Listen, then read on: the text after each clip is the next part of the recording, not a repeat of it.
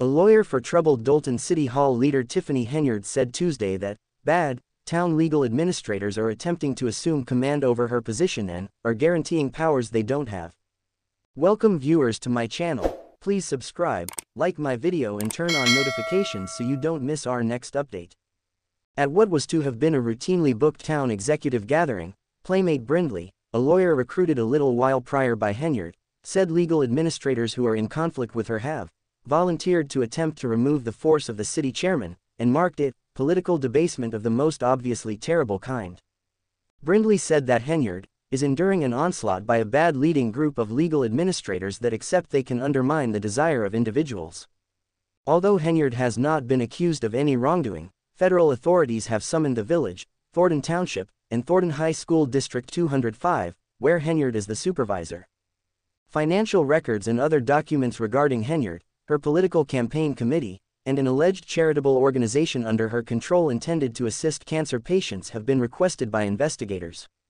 While the site for Brindley's Chicago law office takes note of his involvement with Criminal Guard, he said that he does not address City Hall leader Tiffany Henyard in a criminal limit, since she has not been accused of any wrongdoings and has not perpetrated any violations.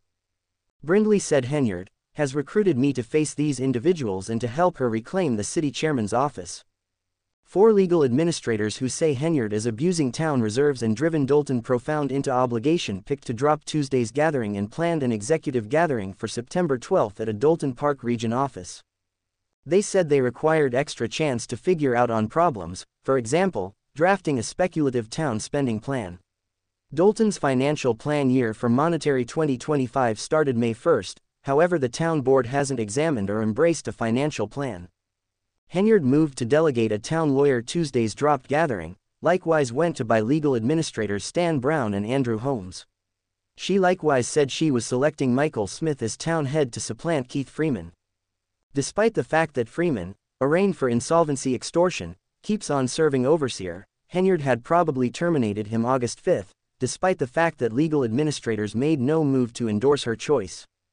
Henyard said, Keith Freeman, I know you're watching, you no longer work for the village of Dolton, as if he were speaking to television cameras or the camera that was recording the village's livestream of the meeting last month.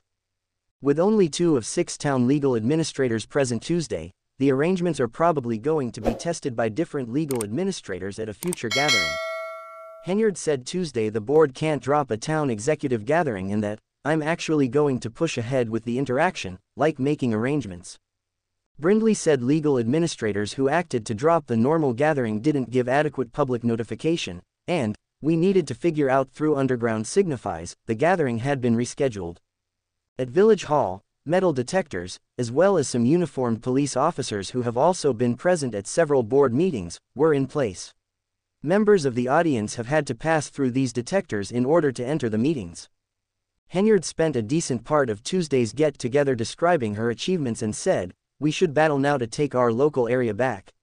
Independently on Tuesday, the Illinois Head Legal Officer's Office said Dolton disregarded the state's Open Gatherings Act during town executive gatherings June 3 and July 1 by neglecting to make them available to general society.